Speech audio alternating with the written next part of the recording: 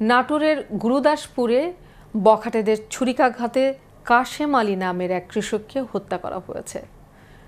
নাজিরপুর ইউনিয়নের লক্ষ্মীপুর গ্রামের ময়েজ আলীর ছেলে কাশেম বুধবার সকালে গোপনীনাথপুর গ্রামে এই ঘটনা ঘটে।